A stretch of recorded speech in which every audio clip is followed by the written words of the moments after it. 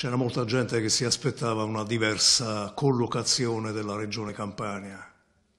Ora, premesso, come vi dirò fra un attimo, che a me le classificazioni non fanno né caldo né freddo, noi ci siamo dati una linea chiara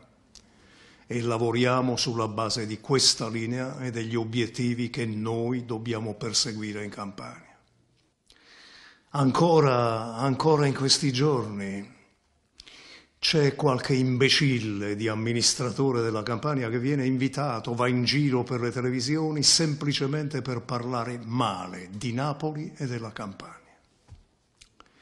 Amministratori che magari non hanno fatto niente per le loro città, che non hanno alzato un dito, un dito per controllare la movida, per mettere ordine, cioè per dare una mano a contenere il contagio Ebbene, questi soggetti vengono ormai utilizzati come lo scemo del paese, semplicemente per parlare male di Napoli e della Campania. Per essere brutalmente chiari, io credo che non dobbiamo aspettare il momento nel quale il contagio ha un'esplosione e diventa incontrollabile, ma dobbiamo intervenire prima. Lo so che è più difficile,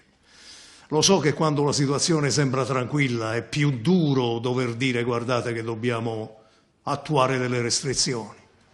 ma la prevenzione significa questo,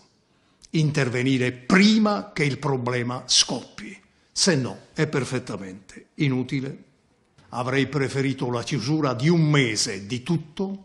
perché questo ci avrebbe aiutato a frenare il contagio anziché avere un calvario di ordinanze, di decreti, uno ogni 48 ore, che ha finito per creare sconcerto nei cittadini, per non dare mai la percezione della gravità della situazione, per creare conflitti fra le categorie economiche, perché a me sì, agli altri no, e alla fine per creare anche conflitti territoriali.